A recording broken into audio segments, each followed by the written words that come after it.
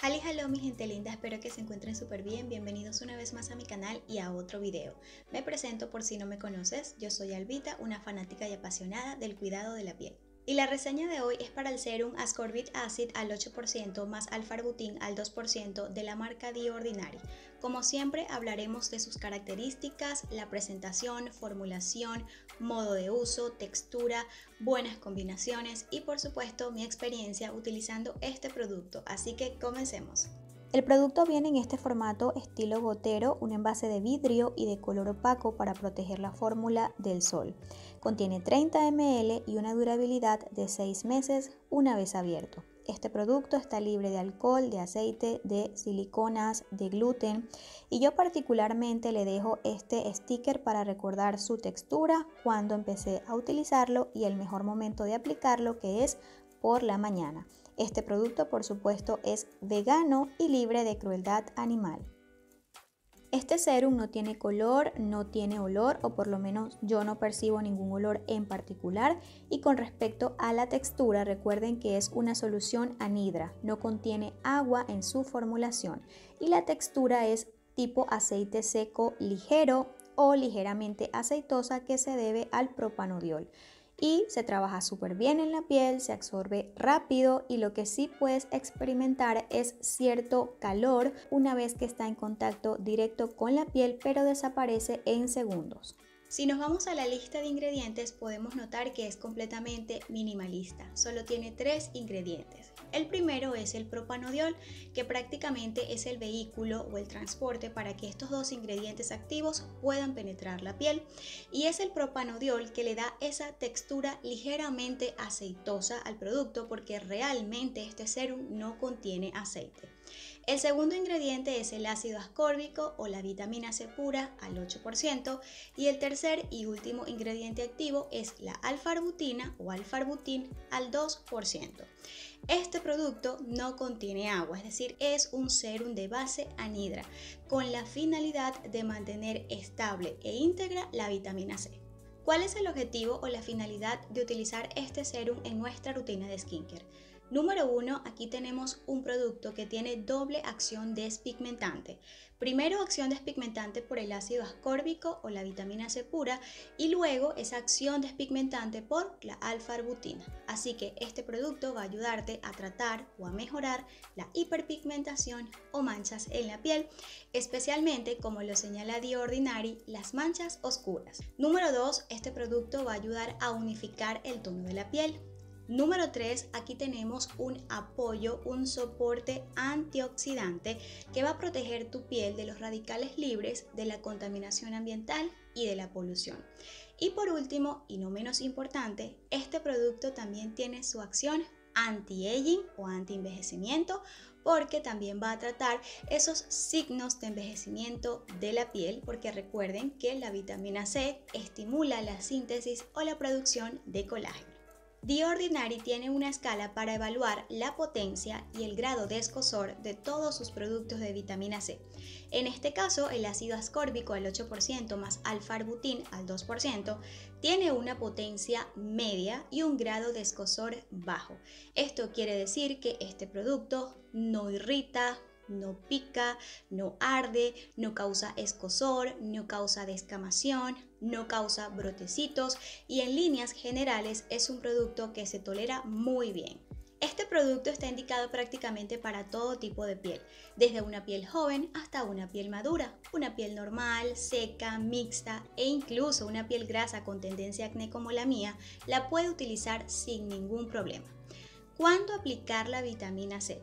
Preferiblemente por la mañana, ya que es el momento en el cual tu piel necesita este escudo de protección frente a todos los factores que pueden dañarla. Pero por supuesto que puedes aplicarlo sin ningún problema, tanto en la mañana como por la noche.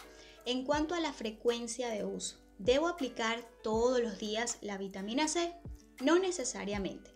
La vitamina C se queda activa en nuestra piel por 72 horas, así que puedes aplicarla cada 3 o cada 4 días. Esto te permite utilizar otros ingredientes activos, quizás probar otros antioxidantes en tu rutina de skincare de la mañana. ¿En qué paso de mi rutina de skincare debo aplicar este producto? Pues como este serum es de base anhidra, es decir, que no contiene agua en su formulación, la marca The Ordinary recomienda que lo apliques después de los serums de base acuosa. Ejemplo, paso número 1, tu limpieza. Paso número 2, tu tónico hidratante que es opcional.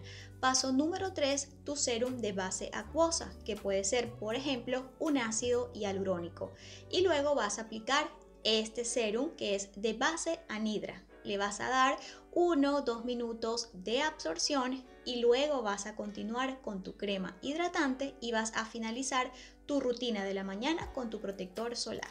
Para aplicar este producto, si tienes piel grasa, con dos gotas es más que suficiente. Lo trabajas en la mano y lo aplicas a toquecitos en todo el rostro. Ahora hablemos de las buenas y las malas combinaciones. Número 1. La marca recomienda que evites utilizar en la misma rutina de este producto los retinoides, es decir, que lo utilices en rutinas separadas. Por ejemplo, en la mañana el ascorbate acid al 8% y en la noche los retinoides. Igualmente, la marca recomienda que evites utilizar en la misma rutina de este producto el antioxidante EUK 134 porque tienen incompatibilidad. Entonces puedes utilizar en la mañana el ácido ascórbico y el EUK 134 por las noches, es decir, rutinas separadas. Con respecto a el uso de la niacinamide en la misma rutina con la vitamina C, como ya saben, nuevos estudios nos indican que es completamente seguro utilizar estos dos ingredientes activos en la misma rutina.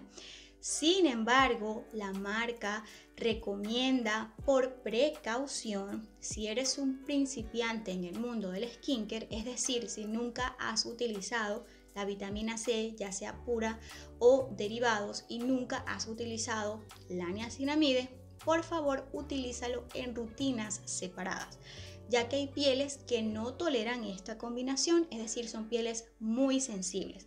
En ese caso es mejor que empieces poco a poco con porcentajes bajitos en rutinas separadas progresivamente y luego de crear tolerancia, igualmente progresivamente puedes hacer esta combinación en la misma rutina. Recuerda que todas las pieles reaccionan diferente. Entonces, ¿qué otros ingredientes activos puedo utilizar de manera segura con este producto en la misma rutina? Sin ningún problema puedes utilizar el ácido hialurónico de la marca que tengas, puedes utilizar otros antioxidantes como por ejemplo el picnogenol, el ácido ferúlico, el resveratrol y la vitamina E. Y para finalizar esta reseña les comparto mis pensamientos acerca de este producto y como siempre voy a ser 100% honesta. La única razón por la cual decidí agregar este producto en mi rutina de skincare fue porque ustedes me lo pidieron. Querían ver diferentes rutinas despigmentantes especialmente para esta temporada de verano. Así que esa es la razón. No es porque mi piel tenga alguna necesidad de tratar o mejorar manchas o hiperpigmentación porque ese no es mi caso. Así que no les puedo compartir una reseña que esté enfocada en decirles si funciona o no como despigmentante pero sí les puedo hablar si en realidad este producto le funciona o no a una piel grasa con tendencia acné. Como piel grasa y tendencia acné, les puedo decir que este producto funciona perfectamente. Lo único es la textura, que sí se siente un poco oleosa. Así que mi recomendación número uno es que apliques poca cantidad. Con dos gotas para una piel grasa es más que suficiente. Ahora lo que yo noté en mi piel fue mucho brillo, mucha luminosidad, la piel se ve súper radiante. En líneas generales es un buen producto indicado para todo tipo de piel. No me causó granos, no me causó brotes, no me causó alergia, se tolera súper bien. Y como saben yo venía utilizando el Ascorbyl Glucoside Solution al 12% que es un derivado estable. Y este sería entonces mi segundo producto de vitamina C, en este caso ácido ascórbico, vitamina C pura. Y me parece excelente opción para iniciarse con el ácido ascórbico. Este 8% se tolera súper bien, así que a este producto yo le voy a dar 10 de 10. Bueno, mi gente linda, hemos llegado al final de este video y espero de corazón que les haya gustado. Si es así, por favor déjenme saberlo con un like y si mi contenido les gusta, pues yo los invito a que se queden por aquí, a que se suscriban para que sigan disfrutando de más contenido del cuidado de la piel. Muchísimas gracias por su tiempo y por su apoyo. Nos vemos en el próximo video. Chao, chao.